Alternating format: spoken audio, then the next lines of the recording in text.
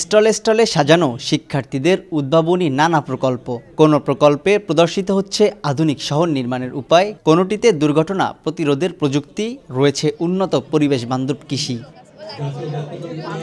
কারিগরি শিক্ষার প্রসারে আয়োজিত খুলনা অঞ্চলের অ্যাসেট স্কিলস কম্পিটিশনে এমন আটচল্লিশটি প্রকল্প প্রদর্শিত হয়। শিক্ষা মন্ত্রণালয়ের কারিগরি ও মাদ্রাসা শিক্ষা বিভাগের accelerating and strengthening skills for economic transformation প্রকল্পের আওতায় বৃহস্পতিবার দিনব্যাপী খুলনা পলিটেকনিক ইনস্টিটিউটে এই আয়োজন করা হয়। নিজেদের আবিষ্কৃত এসব প্রযুক্তি আধুনিক রাষ্ট্র নির্মাণে গুরুত্বপূর্ণ ভূমিকা রাখবে বলে মনে করেন শিক্ষার্থীরা। এখানে একটা আইআর সেন্সর ব্যবহার করছি, যেটা হচ্ছে ড্রাইভার যেখানে গাড়ি চালাবে, তার সামনের গ্লাসে আমরা আইআর সেন্সরটি বসাই দিব।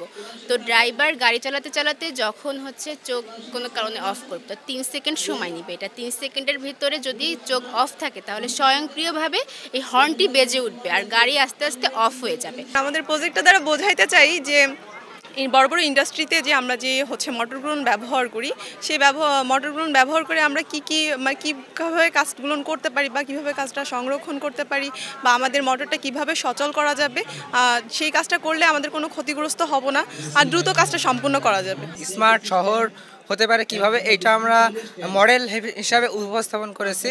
এটা এখানে স্কুল আছে, হাসপাতাল আছে, এয়ারপ্লেন আছে। পৃথিবীর যে কোনো প্রান্ত থেকে হচ্ছে বাসাবাড়ির লোড কন্ট্রোল করা যাবে। মানে লাইট, ফ্যান, সকল প্রকার কন্ট্রোল ব্যবহার এখান থেকে কন্ট্রোল করা যাবে। গ্রীষ্মকালে সারা বছর কীভাবে ভোক্তার দোরগোড়ায় মাশরুমকে পৌঁছে দেওয়া যায় এবং উদ্যোক্তাদের উদ্যোক্তারা যারা সারা বছর কীভাবে অর্থনৈতিকভাবে স্বাবলম্বী থাকতে পারে এর উপরে গবেষণা করে আমাদের এই ক্ষুদ্র প্রয়াস অনুষ্ঠানে খুলনা বিভাগীয় কমিশনার হেলাল মাহমুদ শরীফের সভাপতিত্বে শিক্ষা মন্ত্রণালয়ের কারিগরি ও মাদ্রাসা শিক্ষা বিভাগের সচিব ডক্টর ফরিদ উদ্দিন আহমদ কারিগরি শিক্ষা অধিদপ্তরের মহাপরিচালক জিয়াউদ্দিন আল মামুন খুলনার জেলা প্রশাসক খন্দকার ইয়াসির আরেফিন পুলিশ কমিশনার মোহাম্মদ মোজাম্মেল হক প্রকল্পের communication specialist doctor Zahir Biswas সহ বিভিন্ন পর্যায়ের সরকারি কর্মকর্তা, শিক্ষক, শিক্ষার্থীরা উপস্থিত ছিলেন। আয়োজিত সেমিনারে বক্তারা বলেন, শ্রমবাজারকে আধুনিকায়নের মাধ্যমে দক্ষ শ্রমিকের রূপান্তর ও দেশের শিল্পায়নের পথে কারিগরি শিক্ষা গুরুত্বপূর্ণ ভূমিকা রাখবে। একটি বা দুটি করে ট্রেড পড়ানো হয়, তাহলে ওই ছাত্রছাত্রীরা তাদের সাধারণ শিক্ষার পাশাপাশি নতুন একটি ট্রেডের শিক্ষা পাবে এবং তারা পরবর্তীতে যদি উচ্চশিক্ষায় যেতে ব্যর্থ হয় কিংবা উচ্চশিক্ষায় যাওয়ার তাদের সামর্থ্যের অভাব হয়